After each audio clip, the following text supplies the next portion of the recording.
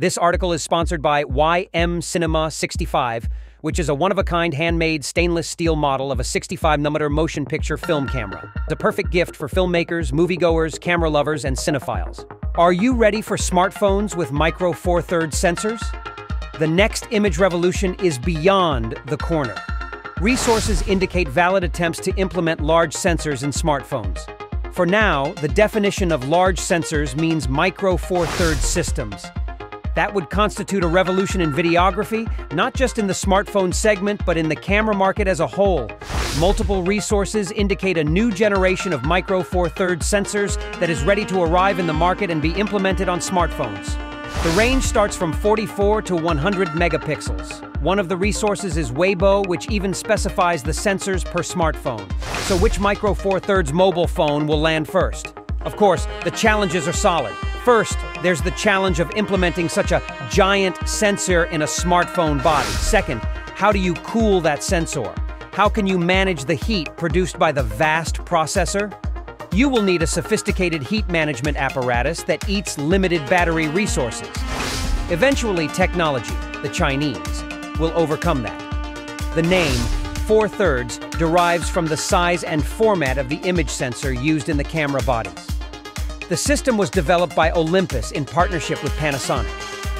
Unlike 35mm film, and therefore most APS-C size sensors used by other big camera brands such as Nikon, Canon, or Pentax, the 4 thirds system uses a ratio of 4.3 for its image sensor. The 35mm film has a ratio of 3.2. This ratio was inherited from analog TV standards. The diagonal length of the Micro Four Thirds sensor is roughly half that of a 35mm film negative.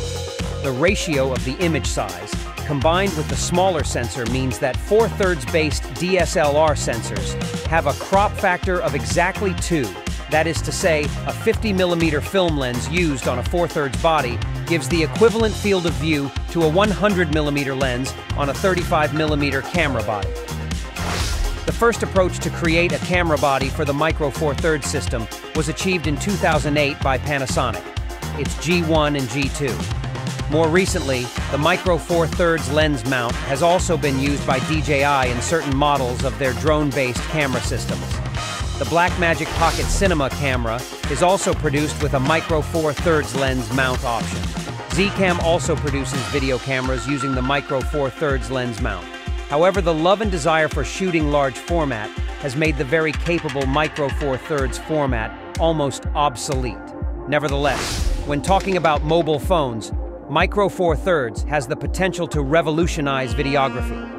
In 2021, Sharp announced its smartphone flagship, the Aquos R6 is armed with a 1-inch sensor. The Aquos R6 was the world's first smartphone that owned this kind of sensor. Furthermore, the Aquos R6 had a Leica Summicron lens on a 20-megapixel camera.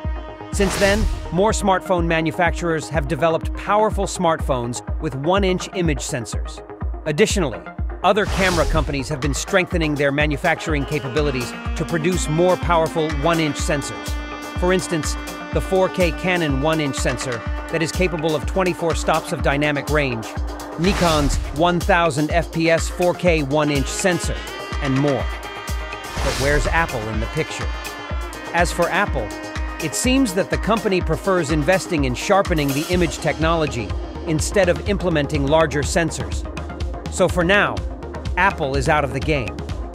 But only for now, since we are pretty sure the time will come to apply one of Sony's powerful 1-inch sensors in the iPhone. Or should Apple go straight to Micro Four Thirds? Anyway, our two cents are that the first Micro Four Thirds smartphone will come from China and will be made for the Chinese market. We believe it will launch during 2024-2025. If so, Apple will start the pursuit of Micro Four Thirds in 2025. Hence, imagine this iPhone 18 with Micro Four Thirds image sensor. That would revolutionize videography for sure.